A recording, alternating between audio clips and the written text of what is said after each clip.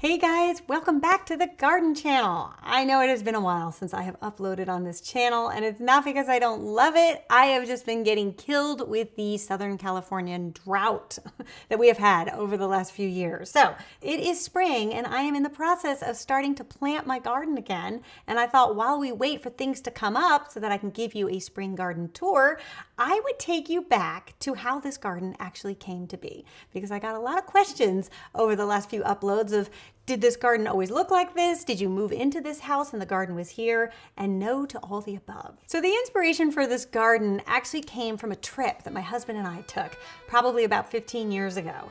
Before we had kids and we were newly married, we just decided on a whim, let's go to France and visit the chateaus of the Loire. so we took two weeks and we went visiting all of these amazing chateaus and had such a great time. And one of my favorites was one called Chateau Villandry. The vegetable garden at this property is like nothing I have ever seen.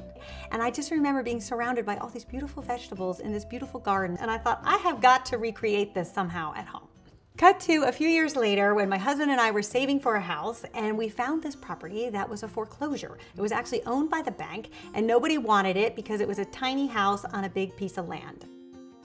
We liked the little house on the big property because when we saw it, we immediately looked at each other and thought, this is it. This is where we can build our beautiful garden inspired by Villandry. so we took half the front yard and literally just cut it in half and decided that this would be our garden plot. It's about 80 feet by maybe 20 feet. And I remember everybody thought we were nuts. They looked at us and thought, you guys don't know how to grow anything. You're gonna turn this whole yard into a vegetable garden? And I was like, yeah.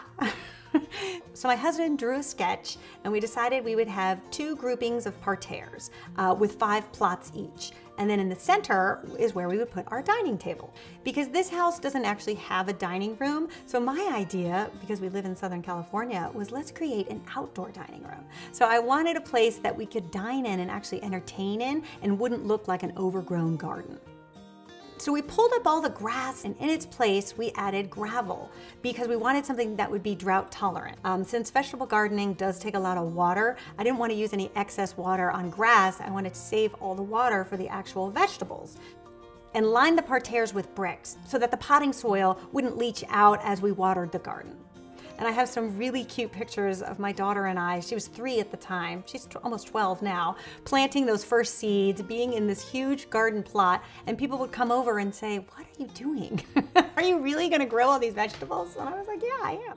And then after we laid the bricks for the parterres, we added some boxwood. And I love boxwood because it's very slow growing. So you can add really nice little parterre hedges that don't need much upkeep because it doesn't grow very fast.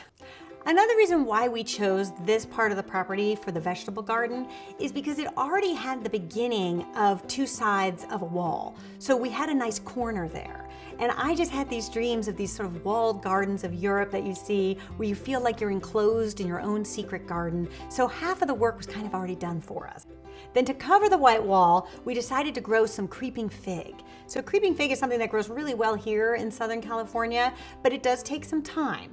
And you'll see in some of those early photos, you just see these little stalks that are kind of peeking up, growing onto the wall. But then eventually over time, it does attach itself to the wall and then will start to kind of creep up. And the secret with creeping fig I found is you have to cut it.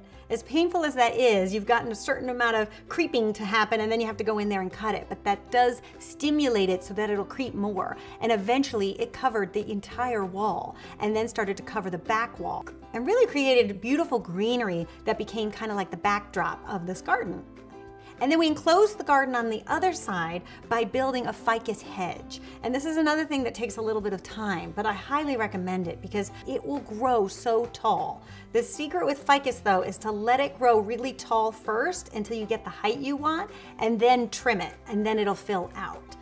And then we added a garden gate and then up above it created like a form that the ficus could grow up onto. So my husband had this idea where he wanted to create kind of like a decorative hedge, almost like a topiary that would be trimmed. And I was a little skeptical in the beginning. I actually didn't think that ficus would do that, but sure enough it did. And then we did the same thing on the other side. So by the house, when we originally bought it, it was sort of this yucky brown color and had this sort of hideous looking gate that connected the side garden to the vegetable garden. Well, we took that gate off and eventually created another form, another arch that we grew ficus up and around. And that also really helped hide the neighbor's yard too, because we were looking at their brown house. and now we look at a beautiful green hedge. So now we've added another row of ficus that we're going to grow up past the wall. And then that way it'll be the same height as the hedge on the other side and really create this beautiful walled garden effect. And then the other thing we added were just some obelisks in the center of each parterre. And I found that that also created really nice architecture that when things were not growing in the garden, you still had structures to look at. But they also play double duty because they're great for growing cucumbers or beans. Any type of climbing plant will also grow up on there. And then once we had the garden for about a year and a half, we wanted to add some fruit trees, but we didn't really have a lot of room to grow six mature fruit trees. So we did what the Europeans always did, and we just espaliered them, which is to take the tree and have it grow out, actually prune it and train it to grow that way. So now we have two apricot trees, two plum trees, and two nectarine trees that would be really hard to have if they grew upright. So instead they're growing out. And then another thing that's part of the design of this garden is the furniture and the planters we chose. So we kept everything a forest green so that when you look out there, all of the plants pop and all of the furniture just kind of goes into the background. So we have a table out there with chairs, which is great for entertaining. I remember when we had our first Thanksgiving out there, and I think everybody who didn't believe that we were gonna do this, when they came for Thanksgiving, they looked at us and thought, wow, you guys really did this. we were like, yeah, we did. One thing I learned with having a garden this size and maintaining it is I was spending a lot of time back and forth going to the garage for shovels and pots and fertilizer. So my husband, for a Mother's Day gift one year, built me this beautiful garden shed that arrived and it was so spanky new and clean and had this beautiful little copper top. Now it's worn and it sort of uh, has a more well-loved look to it. This garden has been growing now for probably over 10 years, and little by little it starts to add more character to it. I think that's the thing about gardens is that you plant it and it can feel very new and kind of stark in the beginning, but every summer it starts to fill in a little bit more and a little bit more until suddenly one day you're left with something that feels so healthy and beautiful and you feel like it's just always been that way. I can remember our first harvest in the late summer when we had first planted this garden was one of the more rewarding things. we went out there and it was almost like we had a grocery store in our backyard. And I can remember the pile of tomatoes that we would pick, the fresh lettuce, the eggplants. It was such an amazing experience that I highly recommend it, especially if you have children, even if you're single and you want to grow something. There's nothing more satisfying than growing your own fruits and vegetables.